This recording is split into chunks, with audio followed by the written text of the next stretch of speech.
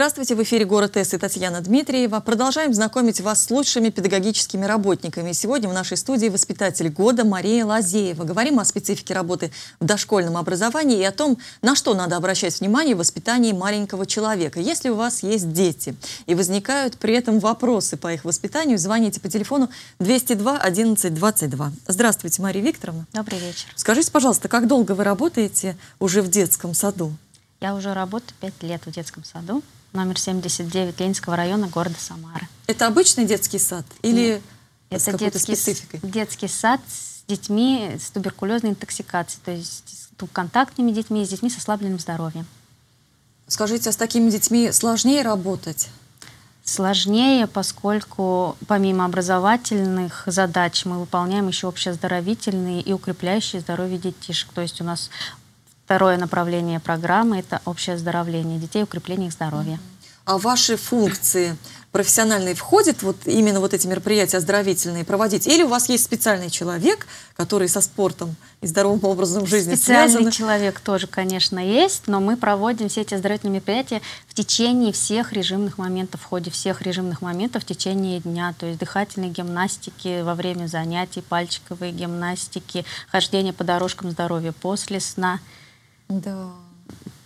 Закаляем и укрепляем в течение всего нахождения ребенка в саду. Когда вам предложили поучаствовать в конкурсе на воспитателя года, на лучшего воспитателя города, как вы к этому отнеслись? Потому что ну, стаж работы у вас ну, не такой большой, пять лет. Как всегда, я. Потому Да? что вперед, потому что есть возможность на таких ме- мероприятиях встретить людей с опытом, профессионалов, узнать что-то, подсмотреть что-то, подглядеть что-то. Так и вышло, много чего увидела интересного, записала в свою копилочку. Да? А что вот можно интересного увидеть у других? Ну, кажется, что другие, у них своя вот такая вот методика, это их находка, а вы можете перенять и все это передать детям, Все это да? Есть у передать себе, передать качество? детям, потому что формы проведения занятий, формы развития детей, формы работы какой-то творческого, потому что настолько все педагоги, потенциал высок у всех педагогов, и все привносят что-то свое. Один человек столько не наработает, поэтому каждый перенимает опыт немножко, подстраивает его под свою работу. Это неоценимый опыт. Сидя просто в саду, интернет, это настолько все плоско, а когда ты видишь педагогов, видишь это в действии, все эти наработочки. А как вообще, какие конкурсы проходили, как можно выбрать лучшего? Вот, Воспитатели. да. Проходили, Как, как вы соревновались? В чем соревнования были? мы соревновались в формах работы с детьми, в умении работать с детьми. То есть нами были показаны занятия и работа с родителями. И в ходе этих занятий и работ смотрелось, насколько мы можем быть близки к детям, насколько дети воспринимают нас, как мы можем грамотно выстроить занятие, построить его. А вы на ваших детях вот все это Да, демонстрировали, да? да, Или на да, чужих? Потому на что вот своих. педагоги и учителя, они как-то, там есть практика такая, такая дают чужих детей, и вот они все это демонстрируют. Нет, а у на нас такого не было, у нас было на своих, но единственное, что никогда не практикую тренированных занятий. То есть, когда семинары проходят, когда все, просто берешь то, что детям интересно. И тогда занятие пройдет просто на ура. И практикую это с первого года своей работы. То есть, когда ребенок может обратиться и высказать ту мысль, которая пришла ему в голову сейчас. Тогда Вот ему интересно. Понятно. Ну вот вы стали лучшим воспитателем. Скажите, пожалуйста, за что вас так оценили? Вот как вам кажется, в чем ваша изюминка? Почему именно вы? Такой вот анализ, самоанализ вы проводили по сравнению с другими? да? Ну, в принципе,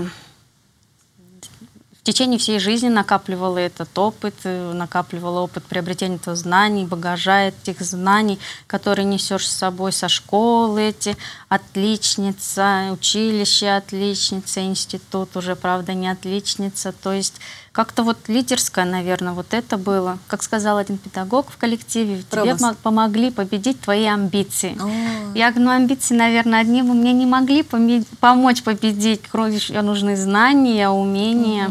А чем вы отличаетесь в работе от других воспитателей? У вас есть особый свой какой-то подход, какие-то свои особый секреты? свой а в чем подход. он Последний подход? утренник, э, родители были, молчали, они были в тихом шоке, поскольку у нас праздники проходят как семейные праздники. У нас нет построения, там дети выполняют танцы, песни, потому что им это хочется. Мы собираемся на прогулку, мы эти песни, которые нам надо сидеть на стульчиках и учить, мы поем их в ходе одевания, прогулки, возвращения с прогулки. Вот в чем. Они как дома. Они пришли, как дома. Они пришли на утренник, они знают что песенку, которую споют, споют для родителей. Угу. Не потому, что они должны вот так построить. Да, именно вот. в этот день, именно в этот час Душ... выучили. Ага. Беру их душу, достаю их душу. Потому что вот индивидуализация, мне кажется, поэтому в ГОСы сейчас нас так выручает, что они дают возможность подходить индивидуально к каждому ребенку, угу. к его потребностям что он хочет, как он хочет. Ну, это же самое сложное. Вот сколько в группе человек Очень у вас? Сложно, 15. 15 детей. И Очень сложно. Вот свой... Но тем не менее, это наоборот, делаем бабочек, и все сделали бабочек, которых попросил воспитать, а два ребенка, не снежинки, два ребенка сделали по-своему. И вот насколько ценой это то, что сделали. Вроде бы и хорошо, что дети поняли угу. задание, сделали, но при этом есть двое, которые свою мысль понесли, mm-hmm. которые сделали так. И у меня этих детей очень много, которые вот свое. Они услышали, и я не говорю им, нет, я mm-hmm. просто говорю, да, ты немножко меня не услышал, но ты такой молодец, ты сделал вот так, ты увидел это, да. То есть ваше стремление развить вот индивидуальные особенности каждого человека, чтобы, чтобы он их проявил, был, чтобы да? он был Показал? активным, чтобы не бить его по рукам. И если мы изучаем деление круга на 8 частей, это не обязательно должно быть на торте. Ребенок предложил напиться, угу. мы можем напиться поделить, мы можем поделить что-то еще. Просто... То есть, да, то есть у вас такая система воспитания, как у японцев, что там до пяти лет, по-моему, их не ругают, не расстраивают. Вы такого правила придерживаетесь или не? Ругаю, или все-таки даже моим занятиям приписали авторитарность. Да вы что? Но как авторит... же вы... Какой же авторитарность, если вы говорите, что вы молодец и, Со и стороны появи... авторитарность, авторитарность в том, что мои дети знают, что если я прошу, и они помогут мне, то когда они попросят, то я помогу им. Я учу их слышать других. То есть, если я обратиться к ребенку, он не слышит, я говорю, ну, если ты сейчас подойдешь ко мне, я тебя не услышу. Угу. Тебе это будет приятно или нет? И вот на это у нас строится не авторитарность, а мы слышим друг друга. Я попросила их сделать, а они делают, потому что я попросила. Угу. И это настолько ценно, когда они нарисовали мне поздравления с победой, и мы стали ложиться спать. Они, как всегда, не засыпают, колготятся. Я говорю, ребят, вот ваши рисунки принесла, их выставила. Я говорю, значит, вы меня любите, значит, вы меня от души нарисовали. Да. Я говорю, ну а что же, я вас сейчас прошу, лечь, нам надо отдохнуть угу. глазком, ручкам. Что же, это все неправда? Все легли, и тишина. Это вот это вот такое признание просто. Да, действительно. Вроде бы я авторитарна, Конечно, я да. надавила, я их угу. заставила лечь спать но через их чувства, через их эмоции да, а они откуда это у вас поняли. вот эти знания, что нужно именно так? Вот этот опыт откуда у вас? Может быть, из семьи? С вами мама так, наверное, да, у нас вас так мама, четверо детей, и мама всю себя положила на нас. То есть это были коллективные чтения, это была помощь младшим, это было да, а вот сейчас такая ситуация, когда один ребенок в семье, это как, как отражается ребенке? Есть же какое-то Есть, это влияние? очень жалко. Это негативное это, влияние в большинстве Отрицательное, не негативное, а отрицательное для детей. Они, им тяжело потом в социуме адаптироваться. И очень часто, когда к тебе обращаются родители, что у нас вот с этим проблема, вот с этим. Я говорю, а кто с ребенком дома общается? Угу. Мама, бабушка. То есть и выходят на прогулку сейчас такое время, что люди сторонятся друг друга, обходят стороной. Вот есть наши чады, мы на него mm-hmm. дышим. Поэтому вот детские сады это такая палочка-выручалочка, и все так стремятся и правильно стремятся попасть, и так жалко, что не все могут это сделать. Но да. это очень-то беда. Самой ребенок один в семье, поэтому стремишься, чтобы он общался с двоюродными, угу. с кем-то, потому что нужно детям общение со сверстниками. Да. С родителями хорошо, но сверстники обязательно необходимы ребенку в его жизни. А вы всегда хотели быть воспитателями или э, воспитателем, или так сложилось у вас в жизни, что вы вот попали в детский Хот... сад? Хотела быть учителем начальных классов, но сложилось так, что попала в детский сад и не жалею, потому что в детском саду дети еще абсолютно не тронутые внешним миром, они пришли только из семьи, ты их знакомишь с внешним миром, ты знакомишь с тем, что может с ними произойти, что есть в этом мире, ты знакомишь их с явлениями.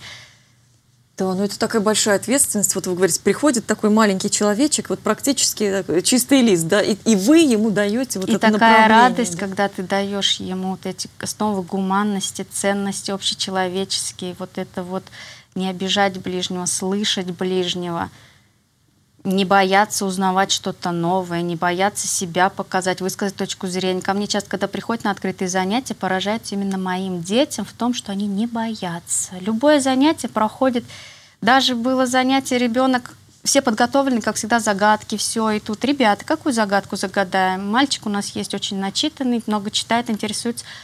Он загадал свою загадку. Какое, говорит, хвойное дерево посадить, чтобы не было мошек рядом. Перебрали угу. все хвойные деревья нашей местности, это был кипарис. Но ребенок не постеснялся, угу. были чужие приглашенные педагоги, то есть на семинар да, приходит да, да, да. значительное количество чужих людей, но дети не теряются и не стесняются. Угу. То есть вы учите проявлять инициативу. Но это самое главное. По ВГОСам сейчас от нас ждут, чтобы мы подготавливали детей готовых к обучению. Угу. Не чтобы они читали и писали, чтобы они были готовы брать эти знания, чтобы у них был интерес брать угу. эти знания. Угу я всей душой поддерживаю это, чтобы был интерес Понятно. в детях. А с родителями не возникает у вас проблем? Потому что вот мы говорим о современных детях, не стоит забывать и о современных родителей, то, что тоже они такие. Проблема с современными родителями в том, что они более заняты материальной стороной жизни детей, обеспечения детей, в том, что они считают свое воспитание единственно верным, единственно направленным. А вы можете что-то посоветовать родителям? Или вы не вмешиваетесь вот в межличностные отношения ребенок-родители? Пытаюсь, пытаюсь, иногда прислушиваются, но не всегда. Когда-то родители считают, что их мнение единственно верное и продолжают, ага, вот здесь же может собственно, возникнуть конфликт интересов, не интересов даже, а воспитательных направлений, да, потому что родители воспитывают так, а вы считаете, вы знаете этого ребенка, и вам кажется, что нужно его вот так воспитывать. Воспитываю его вот так, пока нет родителей. Поскольку у меня дети, вот маленькие приходят, они говорить не умеют, но они перед тем, как просить стакан воды, они, и как умеют, кивками, дайте мне, пожалуйста, воды, пожалуйста, спасибо, это обязательно. Вот 6 лет ребенка, он говорит, а почему я дома не говорю маме, пожалуйста? Я говорю, ну я не знаю почему. Mm-hmm. Тебе не тяжело, маме же приятно Конечно. от этого. А здесь они знают, что он должен попросить, пожалуйста, что это приятно, что когда к нему обращается воспитатель, он просит, пожалуйста, mm-hmm. принеси, пожалуйста, помоги. А в семьях даже этого нет. Я не могу с этим ничего поделать, просто не могу. Поэтому я даю это в тот момент времени, когда ребенок со мной. Я даю ему увидеть, что от этого mm-hmm. тебе лучше, ты лучше. Да, вот интересно, после этого в семье он будет говорить, вот, пожалуйста, спасибо и так далее? Вот, это у него останется, или он это практикует только вот когда он с вами и вот в группе? Вот это вот. В какой-то мере полностью не будет, поскольку это не принято, и он боится проявлять это в семье, поскольку это там не принято, это будет считаться чем-то особенным. То есть он, получается, здесь, в саду, более раскрепощенный, чем mm. дома. Дома вот такой стиль поведения, он его придерживается, угу. он его ведет, это тоже установлено в семье. Да, но это ваша заслуга раскреп... раскрепостить ребенка в детском саду, в группе, хотя вот мы все знаем, что воспитатель это такой вот, ну не тренер, а, ну не диктатор даже, а все, вот слушайте, как я сказала, делайте так. А ну вы вот даже перечитываю том, что... работы психологов, что вот это мы выравниваем детей, заставляем их быть одинаковыми, похожими друг на друга. А мы же все личности, мы mm-hmm. все разные. Да, повезло вашим воспитанникам. вот судя по тому, что вы говорите, действительно такие Надеюсь. правильные вещи. Но я предлагаю вспомнить ваше uh-huh. участие в конкурсе, посмотреть сюжет, ну а потом мы продолжим разговор. Держите, только ждите, не закрывайте друг другу. А теперь продукты питания, да, молочные? Тамара Тимофеева приехала на конкурс из Жигулевска. В сфере дошкольного образования работает почти 15 лет. Уверена, воспитатель – это человек с огромным сердцем, открытым для детей и их родителей. Интерактивный проект «Волшебный улей», с помощью которого дети дошкольного возраста познают мир и развивают творческие навыки, Тамара создала вместе с командой единомышленников. Это мобильный короб, у которого внутри есть рамки с сотами, в которые заполняются картинным материалом на разнообразные разные темы, по разным лексическим темам. Это карты, схемы, цифры, алфавит. В него можно вставлять все, что угодно.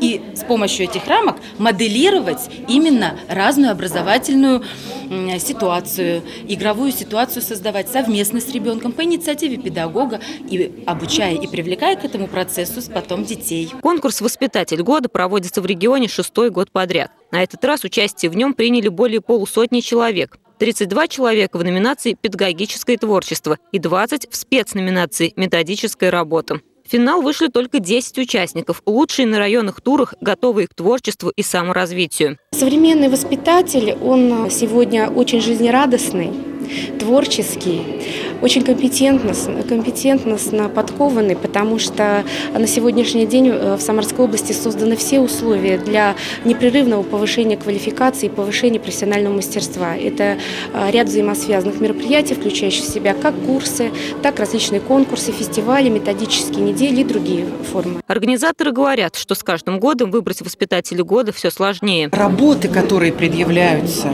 воспитателями год от года по своему качеству, по своему уровню методическому растут. И, по сути дела, те разработки, которые они сегодня предъявляют, становятся теми основными методическими идеями, которые будут тиражироваться на всех территориях, благодаря чему общий уровень дошкольного образования у нас в области будет повышаться. В этом году победители конкурса получили денежные премии в размере 15 тысяч рублей и подарки от спонсоров. А лучший воспитатель в номинации «Педагогическая работа» право поехать на всероссийский этап конкурса. Вы, мы увидели ваших коллег с областного уже угу. конкурса уровня. А, мне хотелось бы, знаете, еще что узнать. Вот вы наработали такой опыт. Вы как-то это вкладываете в какие-то методики, может быть, научные разработки. Вот это все оформляете, потому что вот вы поработали, поработали, ушли, и все это как-то ушло, уйдет вместе с вами. Вот это нужно же как-то оставлять, закреплять. Есть у вас такое направление в работе? Направление есть, но только начато, поскольку все равно считаю, пять лет опыт небольшой. Но в ближайшее время планы просто настолько разновозрастные, настолько разноплановые. Да, да, после этого конкурса понимаешь, что столько, оказывается, у mm-hmm. меня есть того, что можно оформить и отдать, помочь педагогам своим да. опытом поделиться. Понятно. А сегодня вы какими методическими разработками пользуетесь в вашей работе? Вот на чем основана ваша работа? Какая-то есть специальная методика? Или это больше лично у вашего, то, что Нет, вы вкладываете? мы работаем вот по федеральному обязательному стандарту, но используем, привлекаем парциальные различные программы. То есть это и программы оздоровления, и программы творческого развития, лыковые цветные ладошки мы используем, и Николаева юный эколог. То есть направление развиваем mm-hmm. все, составляя свою программу, привлекая то, что мы считаем нужным, mm-hmm. необходимым для нас. А вы что привлекаете? Вот у вас основное направление какое? Потому что вот у меня э, есть так, такая информация, что вы как-то связаны с природой. Естественно, можно... научные, да, у нас да? направления, да, то есть, мне кажется, А как любовь... можно сюда природу подтянуть? Любовь у детей стране, городу закладывается из любви к ближайшему окружению. Мы вместе выходим, мы вместе убираем листья, мы вместе разбрасываем, мы вместе поливаем. У меня дети, приучаю их тому, что вот идем мы летом, когда у нас летний сезон, поливать. У меня дети напоминают мне взять лейки поливать, mm-hmm. не я. Зимой идем, меня дети напоминают, Викторовна, надо взять корм, вы забыли птичек покормить. То есть я так вот забываю, забываю, и корм взять, и лейки, все забываю. Если я сказала, сегодня копаем картофель, они не отойдут от меня, пока мы его не выкопаем. И это все сопряжено еще с проведением опытов научных, то есть это все. А вы где, в, в садике проводите? В саду. Боже. Да, мы топим, топим яйца в соленой воде, мы исследуем свойства воды, причем они очень обижаются, что у нас не шипящий, не кипящий опыт. И я говорю, давайте мы наработаем с вами опыт, работа в лаборатории, а потом будет шипящий, кипящий опыт. Сейчас у нас картофель стоит на окне, внизу он пускает угу. ростки в воду, а сверху листья выращивают. Где они еще это увидят? Да, действительно. Вот. И цветы сажаем, сажаем, не знают, что их надо полить, они знают, что за ними нужно ухаживать. Угу. Ну вот экологическое воспитание, ну, на мой личный взгляд, э, такая слабая ступенька такая вот не совсем высокая в нашем образовании, ну, в школьном как минимум. Вот нет такого прям экологии, что это вот прям номер один или хотя бы среди вот каких-то предметов. Но... А вот в, до, в дополнительном образовании, в дошкольном, какое место экологическому воспитанию уделяется? Потому что нужно же самых ранних лет это воспитывать, а не потом уже, когда все сложили свое мировоззрение, и, и им что-то прививать там по экологии. С ранних, с самого... Когда они выходят в два года на прогулку, цветы, и мы их не рвем. Угу. И другие воспитатели говорят, нет, он же два года ему не объяснишь. Я говорю, нет, объяснишь. Нет, покажешь, что вот ты его сорвал, все, цветочка нет.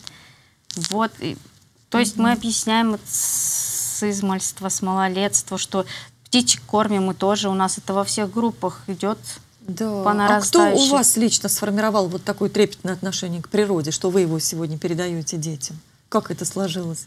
Это сложилось просто от любви к природе. Дачный домик, домик в деревне. Люблю видеть, как растет, так же и дети. Видишь результат своих трудов. Так и цветочек, ты семечко посадил, вырос цветок. Посадил дерево, выросло дерево. Детей приучаю. Посадил дерево, старик. Оно вырастет, старик, ты плодов не увидишь. Я не увижу, а люди мимо пройдут, спасибо скажут. Вот. И Да. Думать о других, думать о будущем. Ты не съешь другому, спасибо скажет. Не только о себе. И дети очень часто сирень сажаем. Зачем? Вы уйдете в школу, здесь будет красиво, сирень. Придете, а дети будут смотреть. То есть заботу все равно я хочу, чтобы люди заботились о ближнем, чтобы эти детишки знали, что еще рядом есть другой, и мнение другого не только свое, единственно верное. Чего в нашем обществе очень не хватает, когда сейчас каждый заинтересован только собой. Да, вот у вас это, ваша пугает. программа дополнительного образования естественно-научной направленности «Природа и фантазия». Это вы ее разработали? Да? Да. А вот э, вы хотели бы, чтобы и другие воспитатели воспользовались вот этой программой и тоже прививали детям любовь к природе? Я бы хотела, да, чтобы у педагогов возникло желание использовать эту программу, прививать, поскольку это очень а кто интересно. вам Де- может в этом помочь, чтобы вы ее как-то распространили, а- афишировали, чтобы ей заинтересовались? Участие в различных семинарах, презентация этой программы, презентация, участие своих детей в различных, естественно, научных конкурсах. И Очень много сейчас этих конкурсов. В школах очень популярны первые шаги в науку, когда дети учатся оформлять научные опыты, проводить научные опыты, защищать научные опыты. То есть это сейчас очень актуально. Да, не рано еще для таких вот детей маленьких защищать там Вот именно мы их научные? с детства учим отстаивать свое мнение. Почему ты так сказал? Ты же не можешь голословно сказать, вот я прав, я так. Нет, мы учим их обосновать, рассказать, почему именно Да. это мнение он высказал. Учу самостоятельности, чтобы они были Да, с людьми таких- с большой буквы. С таких малых лет и уже самостоятельно. Правильно, вот с вами на 100% согласна. Я напомню нашим телезрителям те- телефон 202 11 22. Звоните, задавайте свои вопросы по воспитанию детей, потому что у нас действительно уникальный гость сегодня. Лучший воспитатель города Самара. А, Юрий Викторович Самохвалов а, сообщает, у нас в Самаре только мы, два человека, обучаем с малых лет изобретательству и творческому мышлению. У нас есть сертификаты. Мы в конкурсах не участвуем, но занимаемся с детьми профессионально. Обратите на это внимание. Профессионал Юрий Викторович Самохвалов. Вот видите, есть профессионал и не участвует в конкурсе. Поэтому вот конкурсы... Вот участвовал бы, и мы бы знали широкая публика о таком человеке, Да. об этих изобретателях и работниках. Понятно. То есть вы будете и дальше стремиться участвовать, предлагать себя сами, э, проявлять у- инициативу, участвовать в различных конкурсах. Это ваша такая... перенимать опыт, опыт и делиться использовать своим опыт других тоже, да? педагогов, да. Да, мне кажется, вот вашим опытом действительно нужно делиться. Среди ваших хобби я обнаружила два таких противоречивых занятия. С одной стороны вышивка, а с другой стороны велосипед, лыжи, коньки, байдарки. То есть это вот совершенно разные, да, вышивка. И тут, пожалуйста, такой активный отдых. Вот это вот противоречие, оно и в вас есть. Есть. Да? Вы можете вот, и- как может такой активный человек сидеть и вышивать? Потому что получается работа, получается красота, получается дело рук твоих. Я люблю творить то, что видно. Я не люблю вышивать картины, я люблю вышивать нужные вещи, подушки, на фотоальбомы обложки. Практичное такое направление, да? То, что просто так. нужно людям. Не, не знаю, считаю, что повесить картины это красиво. Все, для этого есть художники, которые будут рисовать. Есть другие люди, которые вышьют это- эти картины. А я люблю делать то, что мне интересно, то, что кажется необходимым и нужным людям. Хочу быть нужной людям. Боюсь делать то, что не нужно людям. Да, но вы такой человек, наверное, экспериментатор, да? То вы любите экспериментировать, что-то новое, познавать, участвовать, э, инициативу проявлять. Вот, может, вспомните какую-то из последних событий, где вы вот, может быть, даже удивили всех своей инициативой и какой-то изобретательностью. Например, вот, вот я вас подталкиваю к тому, чем вы поделились со мной до эфира, что вы прыгнули с парашютом. Вот это что такое? Воспитатель? И вдруг с парашютом прыгает. Это вот разве? Но это другое, другая область. Интересно испытывать что-то новое. Из последнего я работала моделью в художественной школе, у учеников художественной школы. То есть настолько я люблю пробовать себя в новых ролях, пробовать разные сферы. В последнее время, даже стоя на светофоре, когда светофор горит одну минуту, понимаешь, одна минута жизни улетела, пока ты стоял на светофоре.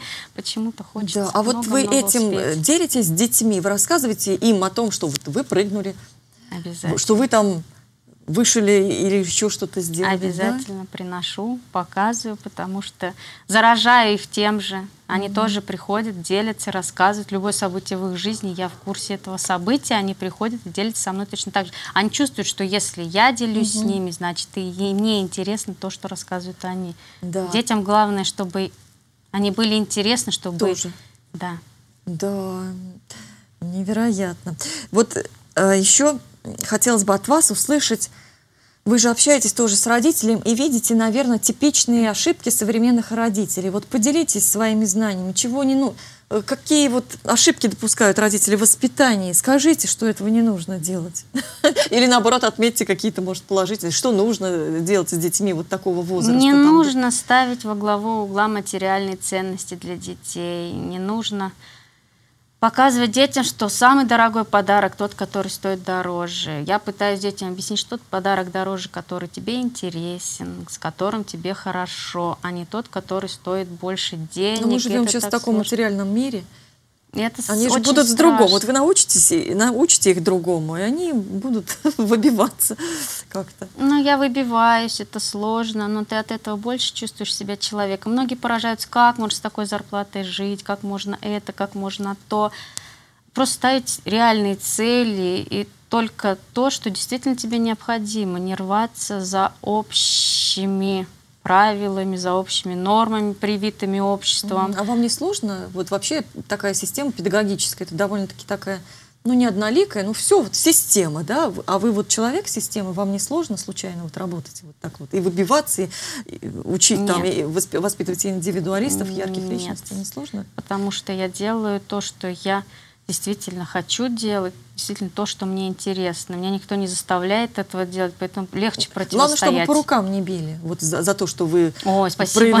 спасибо нашему начальству. Это очень много значит, когда вас действительно видят, да, что человек работает, дают работать, помогают работать. Это очень много значит, потому что пробовала в этой жизни, и это очень, очень плохо, когда не помогают сверху, когда сверху мешают, когда не дают развиваться и расти. Это очень мешает. Да. Э, Наталья заинтересовалась вот вашей методикой и просит ваш телефон. Вот я не знаю, какой-то контакт можете, как вот с вами выйти на, на связь? Какой, какой, ка- может детского быть, сада телефон. телефон детского да, сада? На сайте Продиктуете? детского сада нет. Нет? Не помню наизусть. Ну, не помните. Ну, у вас, В давайте интернете назовите свой детский сад еще раз, чтобы в интернете, конечно, все это можно найти. Какой? Детский сад номер 79 Ленинского района. 79, Ленинский район, и в интернете можно найти Да, телефон, Да. и адрес. Так, и, значит, про, про ваши дальнейшие планы, вот конкурс прошел, что дальше? Вот буквально прямо несколько слов. На, чем, на чем сейчас сконцентрируетесь? Чем будете заниматься активно? упорно? Оформлением своего опыта, оформлением, э, фиксированием своего опыта наработанного, который был только в моих записях удобных мне, то есть оформлением, обработкой, усовершенствованием. Вот у меня прям вот руки горят уже заняться именно вот этой работой. Да.